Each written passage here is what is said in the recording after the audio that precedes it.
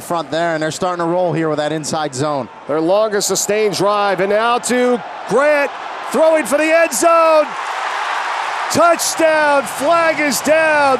What a catch by Patton on the pass from Grant.